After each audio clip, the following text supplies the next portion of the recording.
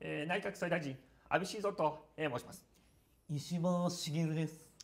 安倍晋三と、石破のショートコントお引っ越し。ピンポーン。ガチャ、隣に引っ越してきた石破です。安倍です。これつまらないものですが。あ、それ受け取れないんですよ。いや賄賂じゃないのに。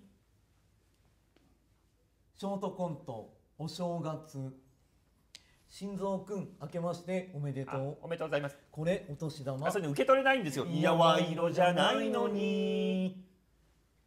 えー続きまして落とし物ポロ？あこれ落としましたよあそれ受け取れないんですよ。いや賄賂じゃないのにどうもありがとうございました。た